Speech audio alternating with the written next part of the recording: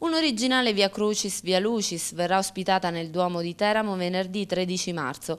La sacra rappresentazione di Mimmo Muolo è un percorso nel periodo pasquale sulla passione, la morte e la risurrezione del Cristo, che ha come sottofondo l'orchestra mediterranea dell'ICOM. Una sacra rappresentazione, eh, coro, orchestra, solisti, eh, attori, eh, con la partecipazione di Claudia Coll, una grande artista che per l'occasione reciterà eh, appunto farà la parte proprio della eh, Madonna che piange sotto la croce di Gesù Cristo morto. Naturalmente come eh, nelle sacre rappresentazioni si parlerà appunto della, eh, tratterà della passione, della morte e della risurrezione di Gesù Cristo. Ad interpretare la Madonna che conduce i credenti nella sofferenza per la morte di Cristo è Claudia Coll che ricrea la disperazione con un pianto nella scena clou. La madre accompagna il figlio nella buona e nella cattiva sorte come tutte le mamme del mondo e qui abbiamo sia il figlio eh, speciale ma anche la mamma straordinaria. E anche questa Claudia Coll che sarà poi l'interprete